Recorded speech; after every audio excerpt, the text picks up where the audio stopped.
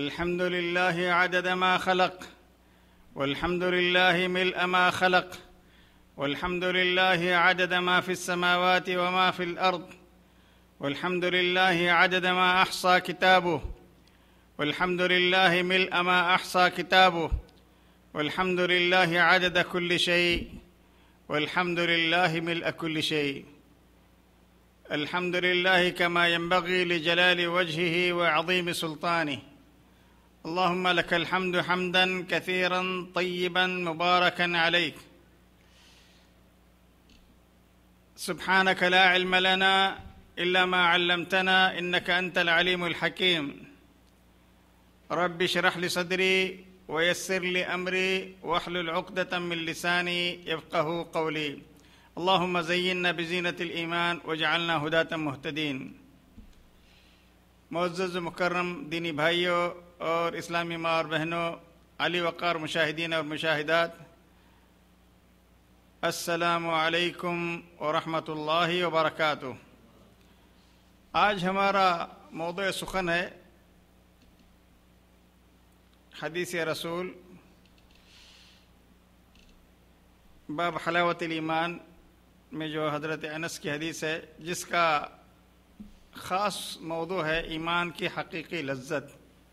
या ईमान की चाशनी या ईमान की सच्ची मिठास, जो भी आप उनवान देना चाहें, दे सकते हैं। इस हदीस का एक यानी इसके कुछ आम मौदूआत हैं और कई एक मौदूआत पर यह हदीस मुश्तमिल है। मोहब्बत इलाही है, मोहब्बत रसूल है, कुफर से इजहार नफ़रत है और इसी तरीके से दीन पर साबित कदमी का मौजू भी इसमें मौजूद है आखिरी फ़करे में। तो ये सारे मौदूआत हैं और ये हदीस दीन की असल असूल इस हदीस को अगर कहा जाए तो मुबालगा ना होगा। नहायत अहम हदीस है और इस हदीस पर इमाम बुखारी अलैह ने एक शानदार बाब अपनी किताब सही बुखारी की किताब ईमान में, बाब हलावत ईमान। ईमान की मिठास के बयान में इस उनवान से बाब कायम किया है ये इस हदीस के ताल्लुक से हमारा पांचवा दर्स है हज़रत अनस इस हदीस के रावी हैं पहले हदीस पढ़ लेते हैं फिर उस पर मज़ीद गुफ्तगु होगी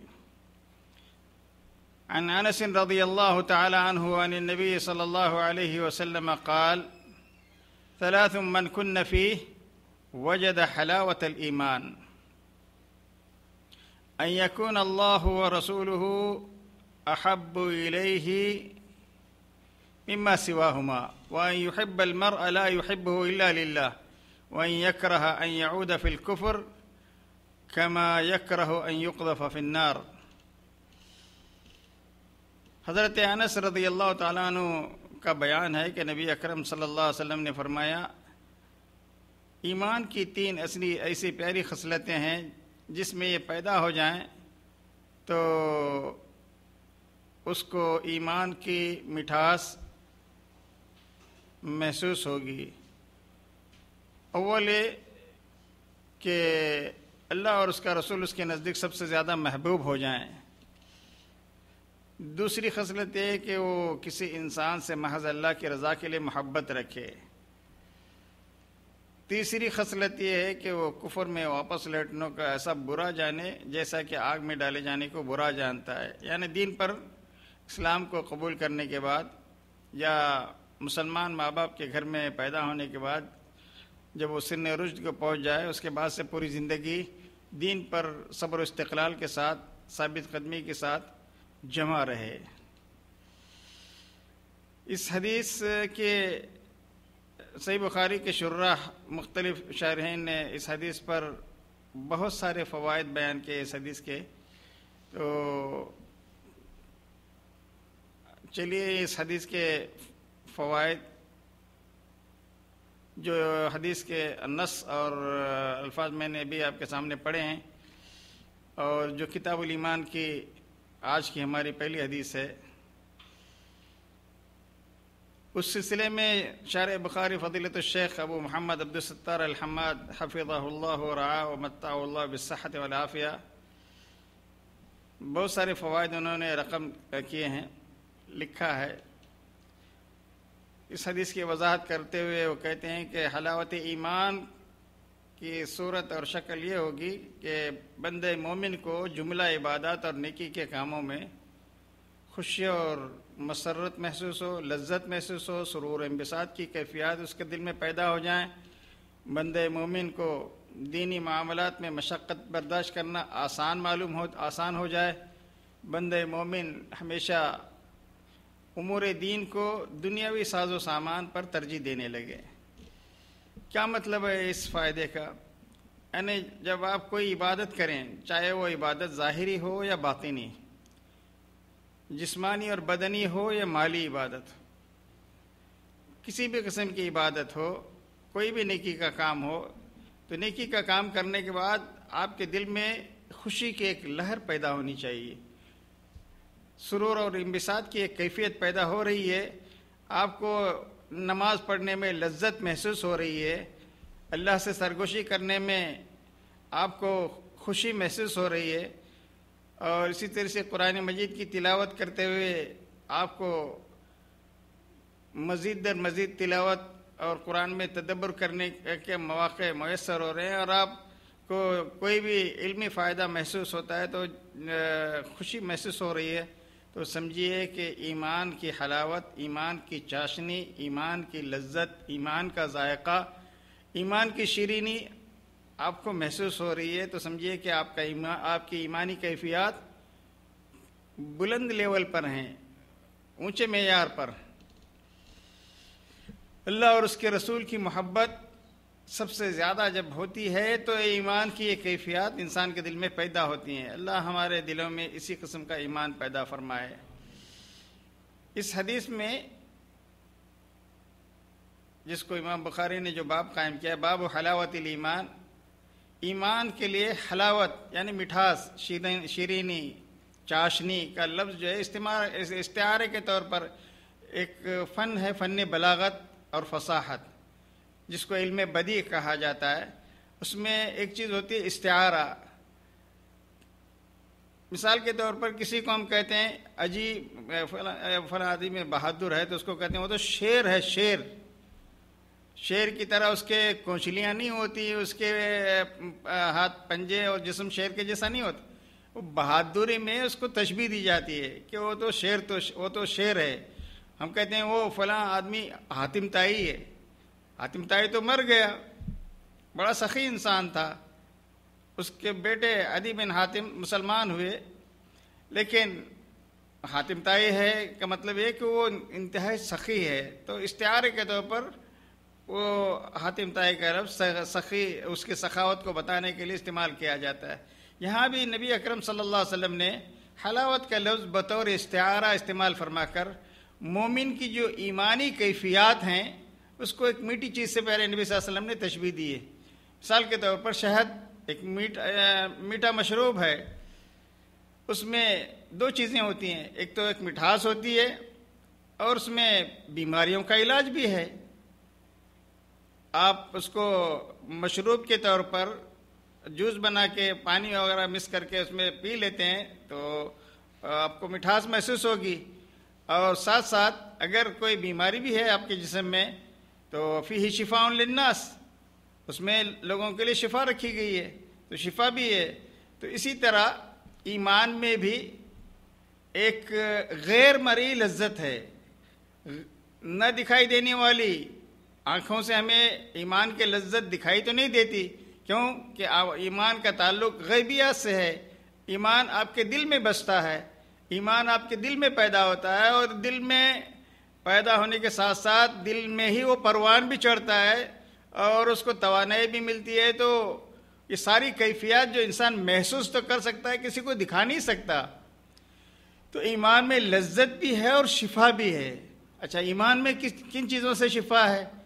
ईमान में आदमी के दिल की जो बीमारियाँ हैं अमरादुलकलूब दो तरह के होते हैं। एक शुकुक और शुभात, इंसान के दिल में पैदा होते हैं, ये भी कलबी मर्ज है।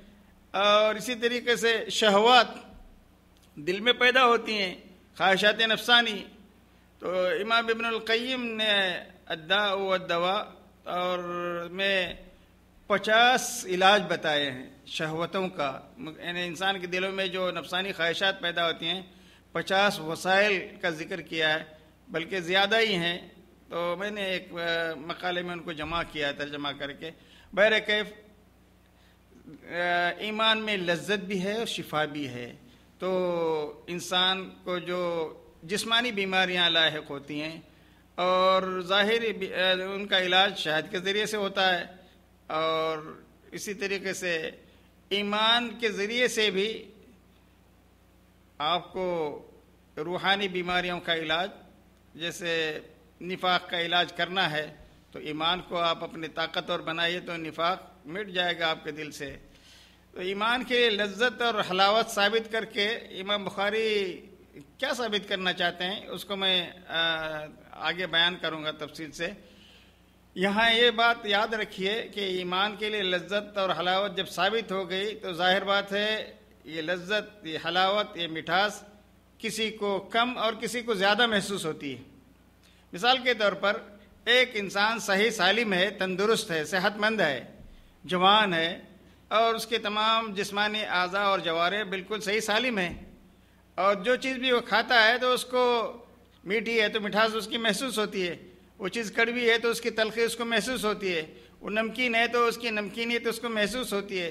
वो चीज़ खारी है तो उसको उसका खारापन महसूस होता है।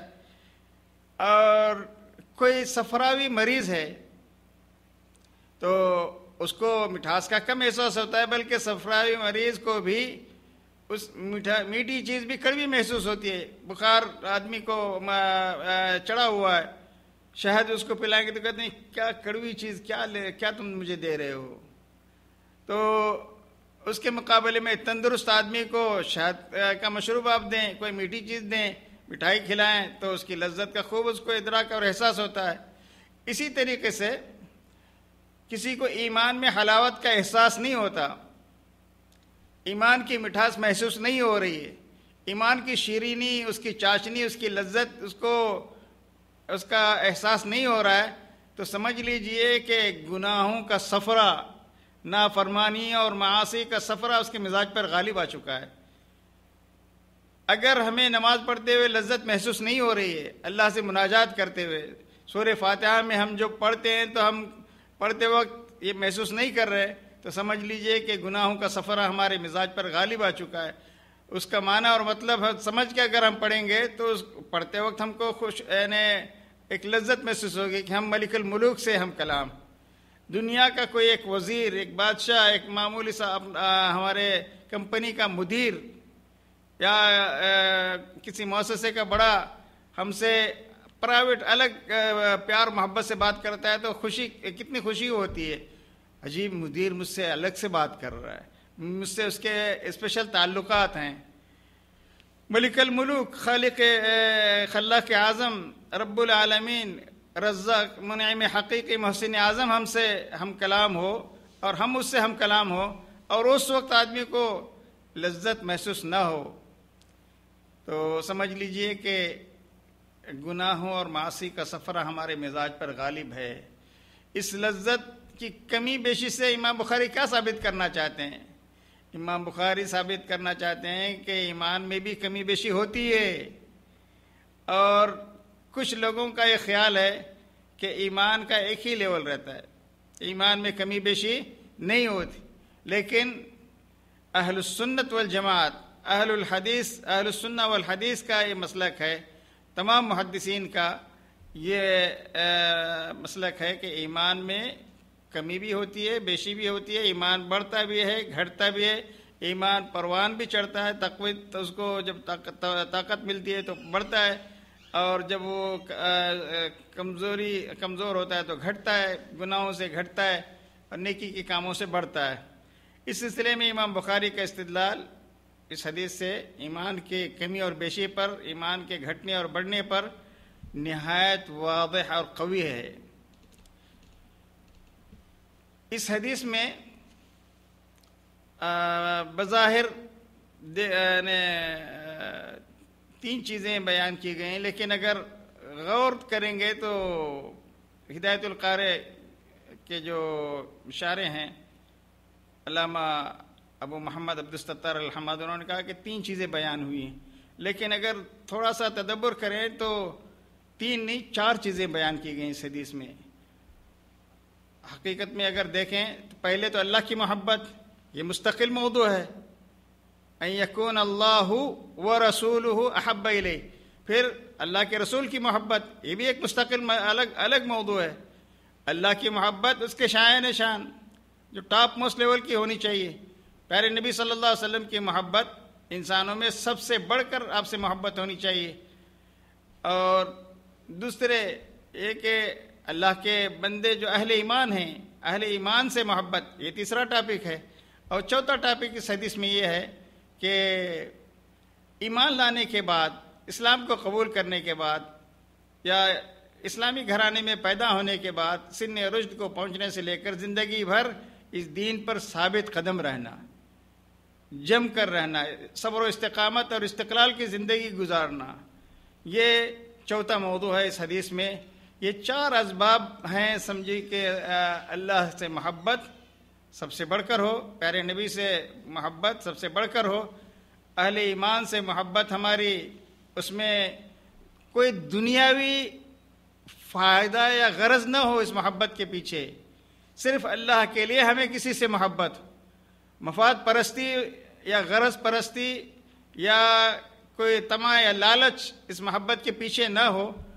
तो समझ लीजिए कि ईमान की लज्जत को पाने के जो इसबाब हैं, वो हमारे अंदर मौजूद हैं। और जब ये ईमान की मोहब्बत को, जब आदमी को ईमान की मोहब्बत हासिल होती है और वो आला दर्जे पर पहुँच जाती है तो उस अल्लाह ताला की वो महबूब चीज़ों को पसंद करने लगता है और अल्लाह की नापसंदीदा बातों से उसको नफ़रत होने लगती है। कुफर से इस कदर उसको नफ़रत होती है, जैसे वो आग में कोई उसको गिराना चाहे तो कैसे वो नफ़रत करता है? कोई आदमी आग में गिरना पसंद करेगा? नहीं। मिसाल के तौर पर आप देखें पुराने मस्जिद में सुर बुरूज में असहाबुल उखदूद का वाक़ है। और इसी तरीके से उसमें सही मुस्लिम में एक छोटे से बच्चे और जादूगर का वाक़ जो एक राहिब के पास से गुजरता था, फिर जादूगर के पास जाता था, वहाँ जादू सीखता था, यहाँ दीन सीखता था। आखिर में एक मरहले में बस उसको आजमाइश आई। तो वो अपने दीन पर डटा रहा अल्लाह ने उसको मरते दम तक, जब वो शहीद हुआ तो शहीद होने तक भी उसको साबित कदम रखा। कभी वो बादशाह और उसकी फौज से डरा नहीं। बच्चा मामूली से एक चीख से डर के बच्चे पेशाब कर लेते हैं। लेकिन उस बच्चे को अल्लाह ताला ने ऐसा ईमान दिया था, सही मुस्लिम यह वाक़ कोई मन घड़त या बनावटी कहानी नहीं। हम में से हर आदमी को पढ़ना चाहिए। सूर्य बरूज के तफसर में अक्सर मुफसरीन ने इसको लिखा है और इबन कसीर वगैरह में बड़ी तफसील से। तो बैर कैफ ये ईमान की लज्जत को पाने के इसबाब अगर आदमी की ज़िंदगी में आ जाए तो अपनी जान को भी आदमी कुर्बान कर देता है, लेकिन अपने ईमान को का सौदा नहीं करता, ईमान को हाथ से जाने नहीं देता। इस हदीस से मालूम यह हुआ कि ईमान सिर्फ़ अरकान इस्लाम का नाम नहीं है, या गरीबों को खाना खिलाना पैसे को पानी पिलाना, भूखे को खाना खिलाना, या जाने, पहचाने और अनजाने और न न जान गैर मारूफ लोगों को सलाम करना, यही ईमान नहीं है, बल्कि ईमान अल्लाह की मोहब्बत, अल्लाह के रसूल की हदीस में जो बातें बयान हुई हैं, अल्लाह के रसूल की मोहब्बत सबसे बढ़कर होनी चाहिए, अहले ईमान से भी खुलूस के साथ मोहब्बत होनी चाहिए। किसी दुनियावी गरज या मफाद परस्ती के लिए नहीं। जब हमारी मोहब्बत किसी से किसी दुनियावी गरज के लिए होती है तो जहाँ वो हमारा मतलब पूरा हुआ तो हम फिर उसके बाद उसको पहचानते नहीं, ऐसे नहीं। चाहे आप जिस हालत में भी हों ज़िंदगी के आखिरी सांस तक, अहले ईमान में, चाहे वो गरीब हों, दौलतमंद हों, आपको जानते हों, न जानते हों, शक्ल सूरत से आपने उनको देखा कि मुसलमान लगता है। असलकुम क्या कहना चाहिए? सबसे पहले उसको सलाम करें। तो मेरे भाइयों, इससे मालूम हुआ कि बहुत सी चीज़ें ईमान की तकमील के लिए ज़रूरी हैं, आमाल। और इस हदीस में जो बातें बयान हुई हैं, वो भी ईमान की शाखों में से एक अहम शाखें हैं, चंद शाखें हैं। इससे पता चला कि मोमिन को अपने ईमान में हलावत पैदा करने के लिए इन तमाम खसाइल को, खसलतों को इख्तियार करना ज़रूरी है, जो इस हदीस में बयान हुई है।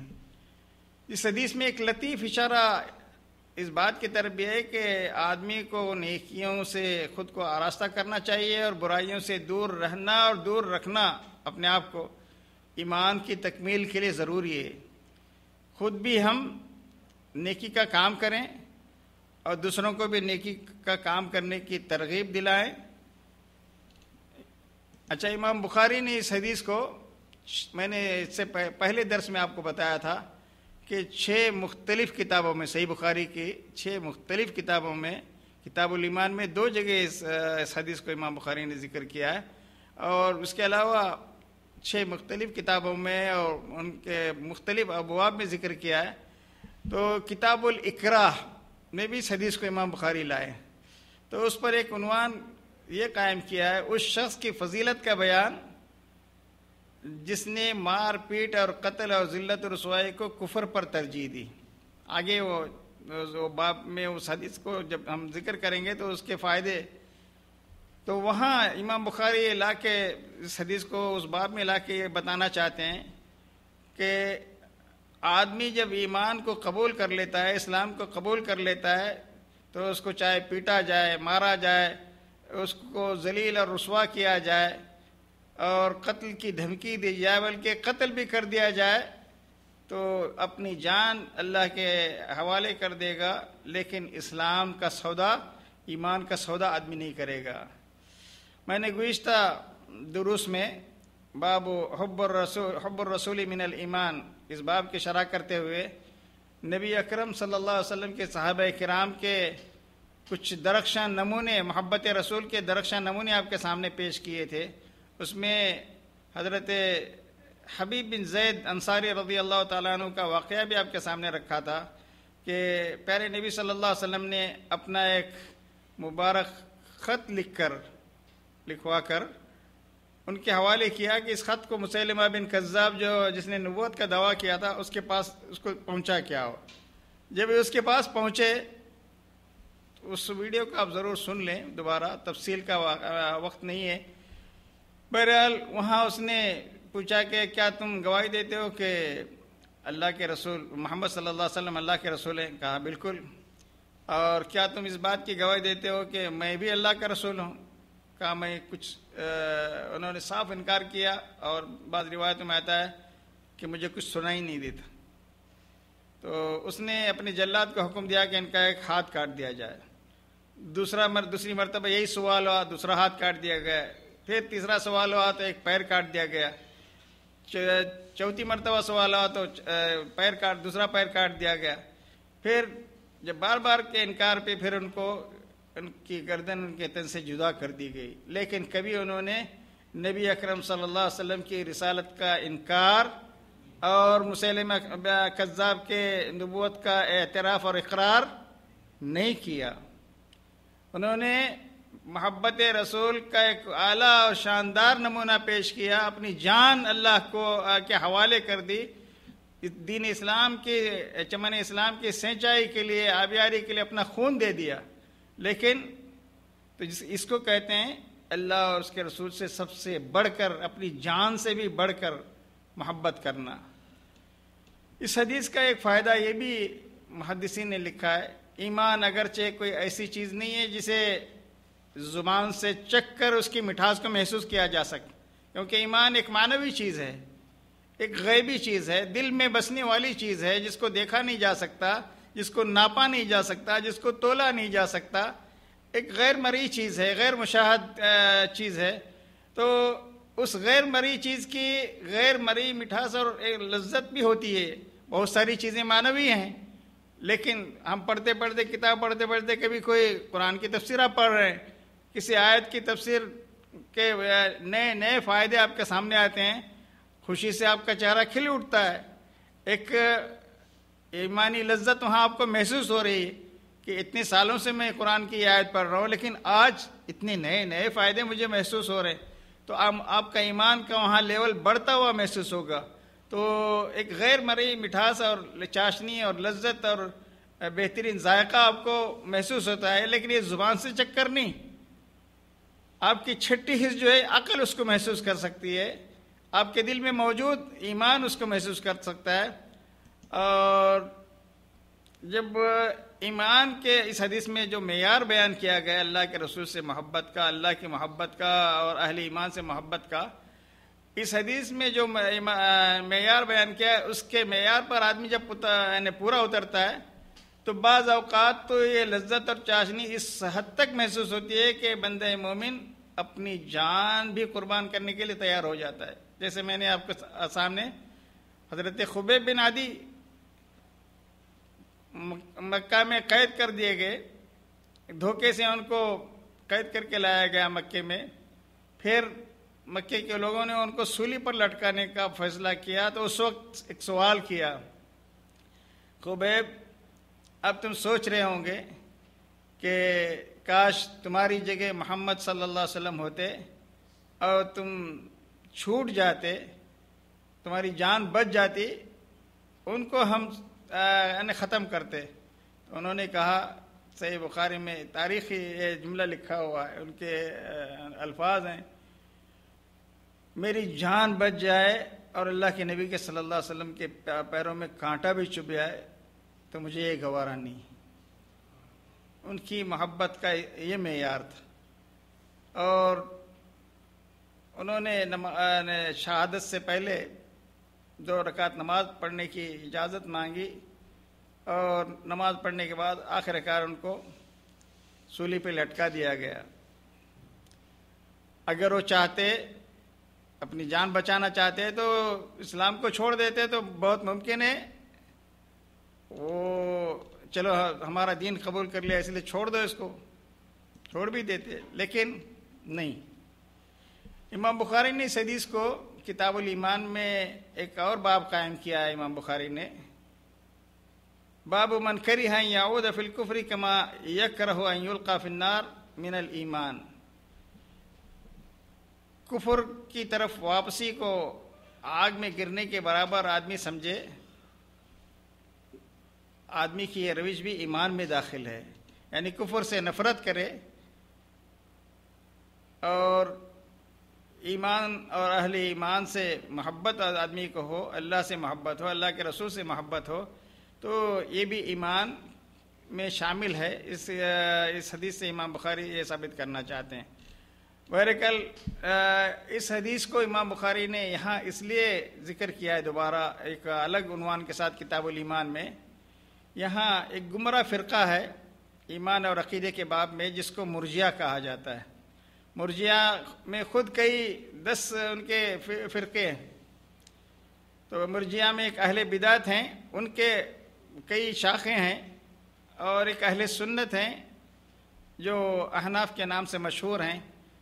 तो उनकी बात नहीं हो रही है। मुर्जिया में जो अहले बिदात हैं अकीदे के बाब में, उनकी बात हो रही है। तो जिसमें कलामिया हैं, कर्रामिया हैं किलाबिया हैं, कर्रामिया हैं और बहुत सारे फ़िरके हैं। जब मैं पहले उनकी तफसील बयान कर चुका हूँ। किताबुल ईमान के पहले और दूसरी वीडियो में आप सुन सकते हैं। तो इमाम बुखारी मुर्जिया का जो अहल बिदात का फ़िरका है, उसकी शाखें उनकी तरदीद करना चाहते हैं। उनका मौक़ क्या है? मौक़ ये है कि तस्दीक के बाद किसी किस्म की नेक काम करने की ज़रूरत नहीं है आदमी को। इताद की ज़रूरत नहीं है। ईमान के लिए न मासीत नुकसानदेह है, न इबादत और नेकी के काम फ़ायदा मंद तुमने तस्दीक कर ली, नजात तुम्हारी मजमून है गारंटी है। यानी तुमको बहरहाल नजात हो जाएगी तुम्हारी। आदमी चाहे कितने भी गुना करे, उसको कोई फ़र्क नहीं पड़ता। तो अमाल की कोई ज़रूरत नहीं है, अमाल की ईमान पर कोई तासीर ही नहीं मानते उस। तो इमाम बुखारी इस तरह से तरदीद करने किस तरह से तरदीद करना चाहते हैं? ईमान को ताकत की ज़रूरत होती है। और उसको उसकी हलावत भी मतलब है ईमान को परवान चढ़ाने के लिए। मिसाल के तौर पर एक पौधा है, बीज आप ज़मीन में बो रहे हैं तो बीज को पौधे की शक्ल में उगने के लिए जरखेज मिट्टी की ज़रूरत होती है, ज़मीन की ज़रूरत होती है और फिर उसको पानी की ज़रूरत होती है, सूरज की रोशनी की ज़रूरत होती है, रात की तारीकी की ज़रूरत होती है और बेहतरीन मौसम की ज़रूरत होती है। इन तमाम चीज़ों के अलावा भी एक निगरान की ज़रूरत होती है, किसान की ज़रूरत होती है, जो बराबर उसकी निगाहदाश्त करे। तो इसी तरीके से ईमान को ताकत और तोानाई की भी ज़रूरत होती है और उसको ईमान की हलावत भी मतलूब है। ये दोनों चीज़ें ईमान के लिए अमाल के रास्ते से हासिल होते हैं। जब अमाल में तफावत होगा, फ़र्क होगा तो मरातब हलावत और ताकत में भी उसी हिसाब से फ़र्क आएगा। ईमान की ताकत और हलावत का मदार, दारो मदार अमाल पर है तो यकीनन अमाल को तरक करने से ईमान को बेलुत्फ और कमज़ोर कर देगी ये चीज़। जिस चीज़ में लज्जत नहीं होती, उसकी तरफ़ आदमी की रगबत भी नहीं होती। आप देखें, कोई आदमी ज़बरदस्ती कोई काम उससे ले लेना चाहता है, उसकी रगबत नहीं है। तो वो सही क्वालिटी और सही क्वांटिटी जो उसके मतलब होती है, वो नहीं कर पाएगा, क्योंकि वो ज़बरदस्ती उससे काम ले रहे तो आदमी के अंदर अगर अमल को अंजाम देने की रगबत नहीं है तो उसका जो अमल अंजाम भी पाएगा, नमाज़ भी पढ़ रहा है, समझें। बेजान, उसमें कोई रूह नहीं है। आदमी अगर का अमल बेजान हुआ तो उसका असर ईमान पर ज़रूर पड़ेगा। और ये ईमान के लिए खुला हुआ नुकसान और ज़रर है। तो इमाम बुखारी मुर्जिया का इस तरह से इस हदीस से रद्द करना चाहते हैं। फिर इस हदीस का जो आखिरी फ़करा है, कुफर से आदमी निकलने के बाद, दोबारा जो कुफर की तरफ़ लौटने की बात यानी ईमान वालों को नापसंदीदा हो तो आदमी कुफर से निकलने के बाद दोबारा कुफर की तरफ़ जो लौटता है तो उसकी दो सूरतें बयान की हैं मुहदसिन ने। पहले यह कि पहले मुसलमान नहीं था, अब इस्लाम में दाखिल हुआ तो उसे आग में डाले जाने की तरह कुफर की तरफ़ लौटना बुरा महसूस हो।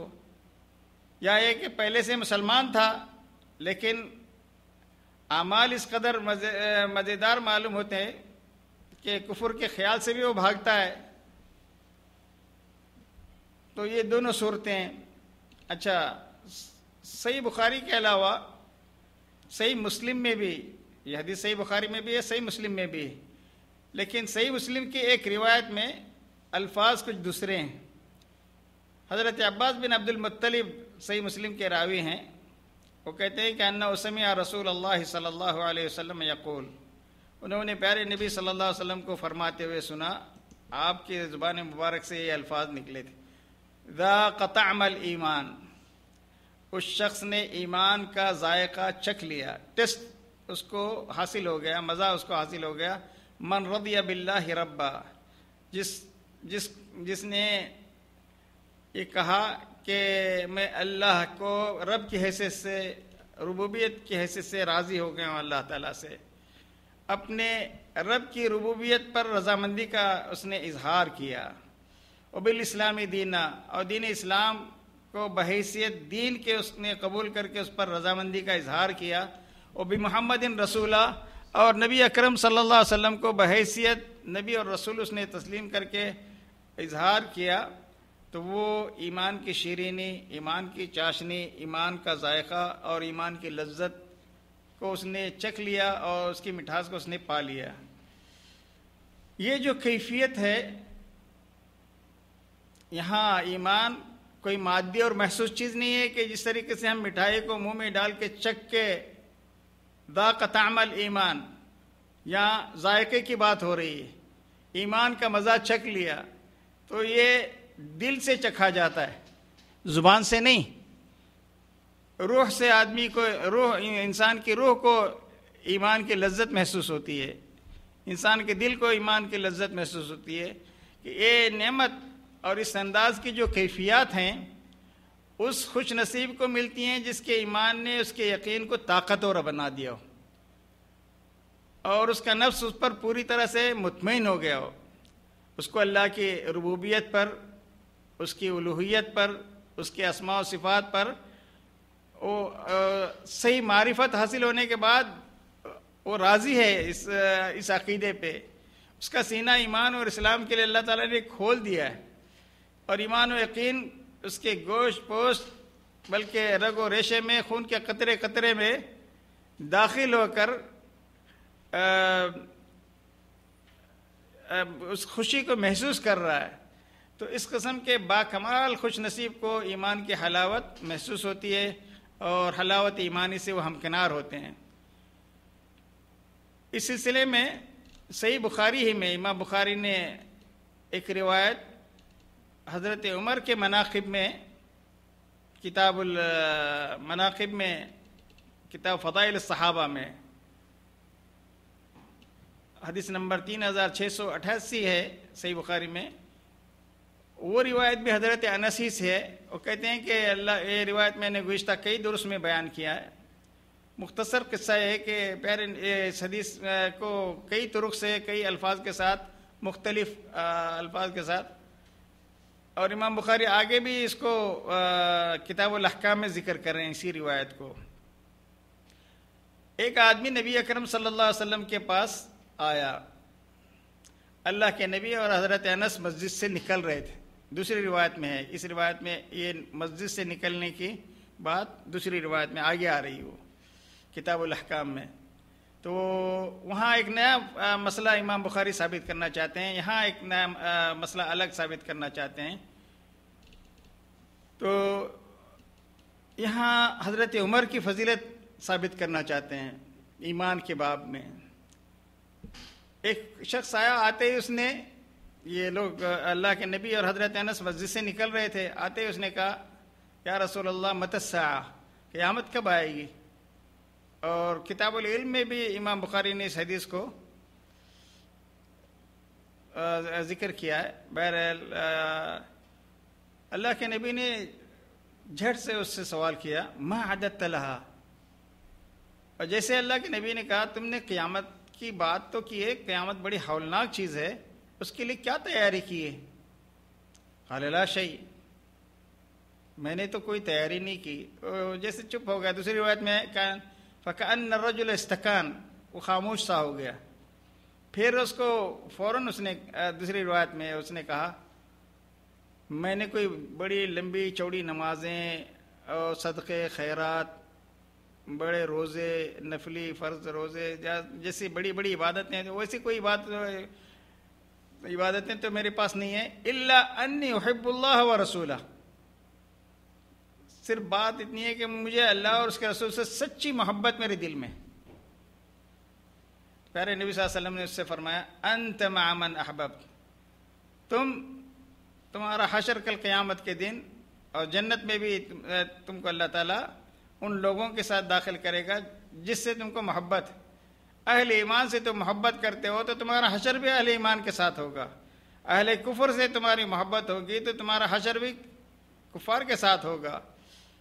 तो ये हदीस हज़रत अनस कहते हैं कि फ़मा फ़रहना बिशई इन फ़रहाना बिकौल नबी सल्लल्लाहु अलैहि वसल्लम अंत मामन अहबब इस हदीस को सुनने के बाद अल्लाह के नबी की इस बात को कि तुम्हारा हशर उन लोगों के साथ होगा जिससे तुम मोहब्बत करते हो। तो हज़रत अनस कहते हैं फ़ाना वहब्बन नबी, मैं अल्लाह के नबी से मोहब्बत करता हूँ। वो हिब अबा बकर, और हज़रत अबू बकर से मुझे मोहब्बत है। वो हिब उमर और हज़रत उमर से मुझे मोहब्बत है। वारजो नाकुन माऊम बिहब्बी या और मुझे अल्लाह की ज़ात से उम्मीद है कि मेरी बेपनाह उनसे मोहब्बत की वजह से अल्लाह ताला मुझे उनके साथ उठाएगा। वहीमल बेमिथली अमालिम। अगरचे उनके जैसे कारहाय नुमाया जिल कदर अमाल और कारनामे मेरे नहीं हैं। मेरे पास इतनी बड़ी बड़ी नेकियाँ तो नहीं हैं। उनके जैसे कारनामे तो नहीं है। लेकिन अल्लाह के रसूल से मेरी बेपना मोहब्बत है और हज़रत अबू बकर और उमर से मेरी मोहब्बत है तो मुझे उम्मीद है कि अल्लाह उनके साथ मेरा हशर करेगा। उन तो इस हदीस से हज़रत अबू बकर की, हज़रत उमर की फजीलत इमाम बुखारी साबित करना चाहते हैं। बहरहाल, इस हदीस के पेश नज़र हर मुसलमान सिद्क दिल से अल्लाह और रसूल के रसूल और साहब कराम से मोहब्बत रखता है तो इस किस्म के खूबसूरत जज्बात का इजहार करते हुए कह सकता है कि अल्लाह, मुझे तेरी ज़ात से बड़ी मोहब्बत है, तेरे रसूल से मोहब्बत है, तेरे सहाबा से हम दिल जान से प्यार और मोहब्बत करते हैं। हमें भी कल क़ियामत के दिन उनकी रिफाकत मैसर फरमा, उनके साथ हमें जन्नत में जगह नसीब फरमा और अगरचे हमारे अमाल उनके जैसे नहीं है। हमारे नेकियाँ और बड़े बड़े कारनामे उनके जैसे नहीं है। उन्होंने तो तेरे रास्ते में जिहाद किया, तेरे दीन के गलबे के लिए अपनी जान कुर्बान कर दी। और इस तरह की बातें हम अपने नेक जज्बात का इजहार हम भी कर सकते हैं। शर्त यह कि हमारी मोहब्बत अल्लाह और उसके रसूल से और अहल ईमान से सच्ची हो। अहल ईमान से मोहब्बत खुलूस मबनी बर खुलूस मोहब्बत उसका सबसे बड़ा फ़ायदा तो यह है, उस दिन, जिस दिन साय साय के लिए तरसते होंगे लोग, अल्लाह ताला उनको अपने अर्श के साय में जगह देगा। और कल क़ियामत के दिन, जब जन्नती जन्नत में पहुँच जाएँगे, जहन्नमी जहन्नम में पहुँच जाएँगे तो जन्नती लोगों के लिए जुमा के दिन अल्लाह से मुलाकात का दिन होगा। तो वहाँ हर एक के मर्तबे और मकाम के हिसाब से कुर्सियाँ लगेंगी, उनके स्टेज सजेंगे तो खुलूस और खुलूस के साथ अहल ईमान से मोहब्बत करने वालों के लिए नूर के मंबर पे उनको जलवा अफरो किया अफरोज़ किया जाएगा। अम्बिया सिद्दीकीन, शहदा, उनके मकाम, उनके कुर्सियों को, उनके एजाज़ को देखकर रश करेंगे कि ये कौन लोग हैं? कि कितना उनके लिए एजाज़ और इकराम किया जा रहा है। तो मेरे भाइयों, अहल ईमान से मोहब्बत हमारे ईमान का हिस्सा है, हमारे अकीदे का हिस्सा है। कभी किसी मोमिन से नफ़रत नहीं रखनी चाहिए। कभी किसी मोमिन से, अगर किसी से कोई आप गुनाह करते हुए भी देखें, जुर्म करते हुए भी देखें तो उसके जुर्म के बकदर उससे नफरत की जाए। मुजरिम से नफरत न न, की जाए बल्कि उसके जुर्म से नफरत की जाए। वो मुसलमान है वो मोमिन है तो उसके ईमान का तकाजा है कि हम उससे मोहब्बत करें। बहरहाल यहाँ प्यारे नबी वसल्लम ने इस हदीस में फरमाया अंत मामन अहबब्त। तुम उन तुम्हारा हशर उनके साथ होगा। साथ का मतलब यानी मैयत उनकी मैयत में तुम जन्नत में जाओगे। जन्नत में, यानी इसका मतलब ये नहीं है कि सवाब में, अजर में तुम बराबर होगे, मकाम और मरतबे में बराबर होगे, ऐसा नहीं। जन्नत में तुम साथ में जाओगे, एक साथ रहोगे, जिस जन्नत को अल्लाह ताला ने अहल ईमान के लिए तैयार किया है, अल्लाह तुमको नबी के मैयत में जन्नत में भेजेगा, और अहले ईमान की मैयत में तुम जन्नत में जाओगे, वहाँ तुम्हारी मुलाकातें होती रहेंगी। ये मतलब है, मकसद ये नहीं है कि दोनों दर्जे में एक होंगे, क्योंकि अकली तौर पर भी ऐसा महाल है, नबी अकरम सल्लल्लाहु अलैहि वसल्लम का सबसे ऊँचा मकाम है नबियों में भी, और साहब कराम में भी अबू बकर, उमर, हज़रत अली हज़रत उस्मान, हज़रत अली, और अशर मुबशरा, बदरी साहबा, इनका मकाम और है और दूसरे अहल ईमान का मकाम और है। इमाम बुखारी ने इस हदीस को किताबुल अदब में भी लाया।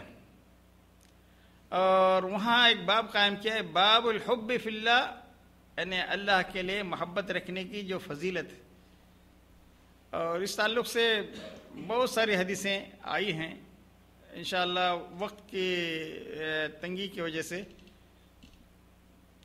चूँकि हमारा वक्त हो चुका है और अल्लाह ने चाहा तो मगरिब के बाद फिर हम अपने दर्स को कंटिन्यू करेंगे। एक नया दर्स इसी हदीस के फ़वाद पर इन अल्लाह की फ़जल और उसकी तोफ़ी से आपके सामने पेश किया जाएगा।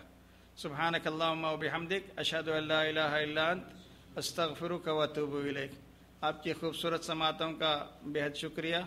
अल्लाह आपको जजाय खैर दे।